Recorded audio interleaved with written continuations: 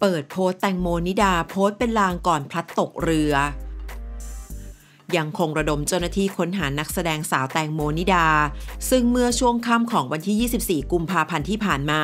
เวลาประมาณ 4 ทุ่ม 40 นาที ได้รับแจ้งว่าสาวแตงโมพลัดตกเรือ ขณะไปกับเพื่อน บนเรือสปีดโบ๊ทกลางแม่น้ำเจ้าพระยาท่ามกลางเจ้าหน้าที่และคนดังในวงการบันเทิงที่ชำนาญช่วยกันค้นหา โพสต์หนึ่งของแตงโม ที่เคยโพสต์ไว้ในอินสตาแกรมของเธอ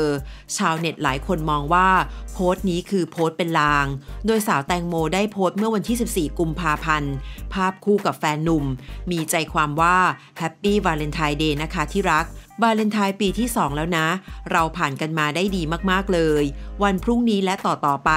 ยังมีเรื่องราวอีกมากมาย อาจจะเจออุปสรรคเข้ามา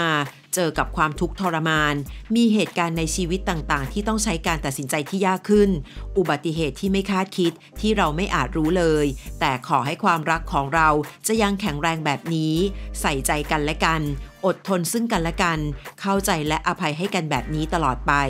เอาหัวใจผูกกันไว้เพื่อเป็นพลัง และเติบโตไปด้วยกันนะงานนี้ชาวเน็ตแห่เข้ามาคอมเมนต์สนั่น และภาวนาขอให้สาวแตงโมปลอดภัย ขอขอบคุณข้อมูลจากที่นี่ .com